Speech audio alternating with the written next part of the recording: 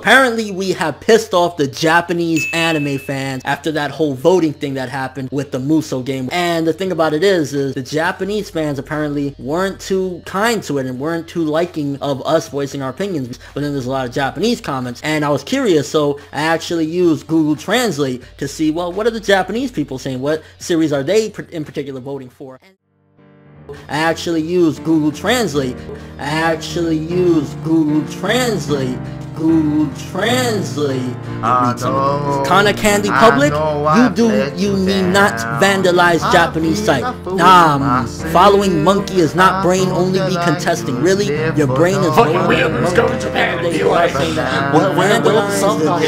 Let's read another one. Uninteresting, cold, persistent, hype sucks, personality bad, fucking foreign.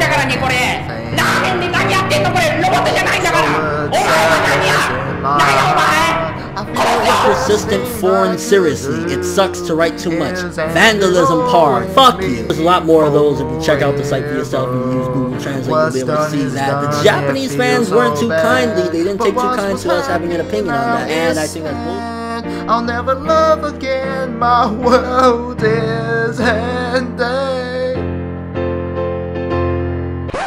Thank you ForneverWorld. From now on, I shall use Google Translate to communicate with Japanese people. Oh wait, I'm not an ignorant twat. I wish that I could turn back time. Cause now the guilt is all mine. Can't live without the trust from those you love. I know we can't forget the past. You can't forget love and pride. Because of that, it's killing me inside.